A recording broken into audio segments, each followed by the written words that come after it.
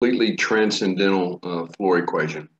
Now that's just kind of a big word for um, a transcendental number can't be the solution to any polynomial with rational coefficients. That's not a whole lot of help right here, but the numbers like e and pi uh, are, are, transcendental numbers.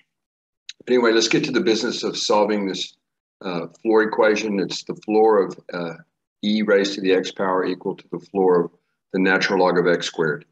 Now, a big a big deal right here is that uh, ln x squared is an even function. That means that um, it can take on values, negative values, okay, values to the left. Uh, you know, just negative numbers are, are, are input to this function. That normally you couldn't input a negative number into the logarithm function, but since it's squared, it's an allowable result. Now, uh, there's a there's two or three lemmas where really all the work was done in this problem. So this very first lemma states that the, the floor of ln of x squared is equal to k. Now this is for um, positive integers or, or, natural numbers. Now you can just almost see this has to be true. This is definitely an increasing function for positive numbers, right? x squared is an increasing function for positive values. And so if you substitute k equals 2 in here by laws of exponents and the fact that ln and e are inverses, you get k. Now notice we have to leave out k plus 1. That's what the parentheses is doing here. We have to actually leave out e to the k plus 1 uh, because that would change this floor to k plus 1 by, again, laws of exponents and the fact that ln and e are inverse uh, functions. Now in a similar fashion, you have to reverse things here because to the left of 0, to the left of 0, ln of x squared would be decreasing on, on for all negative numbers, much like x squared. All right, so that explains the, these two lemmas, which come in very handy. And then e to the x is even more straightforward. It's always increasing. So again, if you just use the inverse function property, if you take x equal to ln x and substitute it right here, you get e to the ln k, uh, which is just k. Okay, so now, so let's go ahead and try to dive into the solution here. Um, the floor of e to the x is equal to zero for all negative numbers. And if you just think about what the graph looks like, uh, like for example, if you if you did e to the minus five, that's an extremely small number, like one over e to the fifth. Okay, so uh, the floor of this graph, e to the x, is always equal to zero. And again, the, these are known graphs, e to the x, uh, 10 to the x. They have uh, they have a known shape, you know, y-intercept of zero, one. And this part right here is just the definition of what it means to have a, a, a floor of zero. Each each uh, image e to the x is strictly greater than zero, but it's strictly less than one. So that's literally the definition of the floor uh, there. Now, so uh, using now, so we, we've taken care of business. Uh, e, the floor of e to the x is equal to zero for all negative numbers. Now, if we use the lemma, we use the second part of the lemma right here. Okay, we actually get that the floor of ln of x squared is equal to zero on this interval. All right, now notice that minus e to the one half is just the same as the square root of e.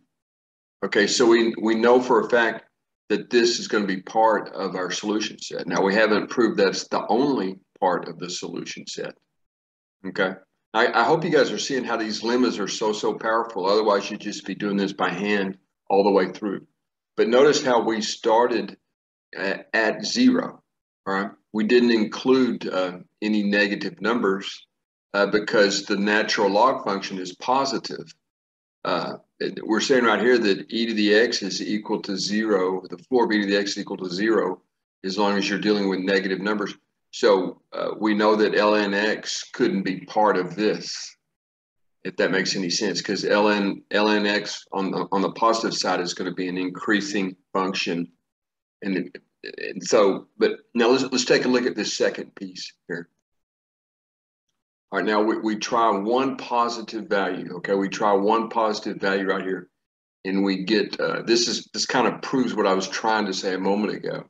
All right, uh, we get that e the floor of e to the x is one on this interval if you appeal to that lemma. Now I won't shoot back to that screen, but it, this is just using that lemma, and so um, ln of one is zero.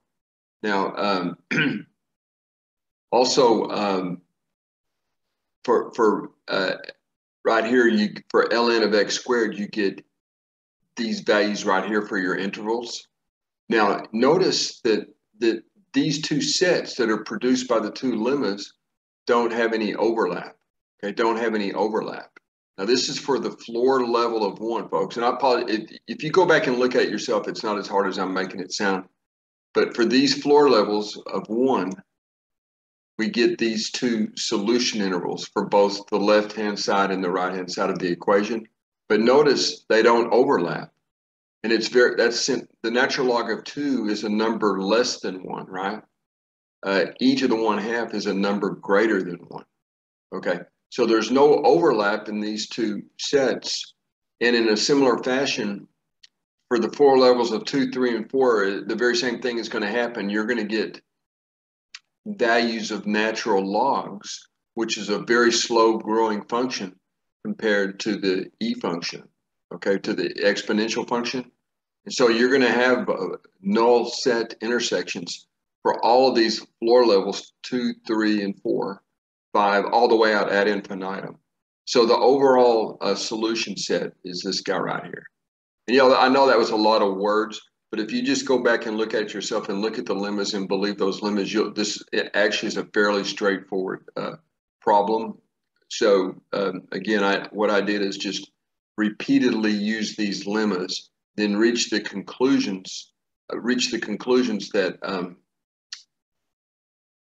that there would never be any overlapping intervals for the floor levels two, three, four, all the way out. Okay, so hopefully that made sense. And I hope you enjoyed it. And please leave any comments and, and what I can do to improve things. I think this stuff is fascinating, you know, because um, e to the x outgrows ln x by quite a bit. You know, if this was just e to the x equals to ln x without the squared, there would be no solution. e to the x is, you know, that's what I mean by exponential growth. But the fact that you squared x right here gave it a chance for there to be exactly one overlapping interval. And for the record, this number is around minus 1.6, something like that, I think, if I recall. Uh, try not to use calculators on this thing. You want to just prove it theoretically. But this is around minus 1.6, and this is minus 1, and that is the only time that uh, these two floor functions uh, have any common values. Okay, thanks for listening.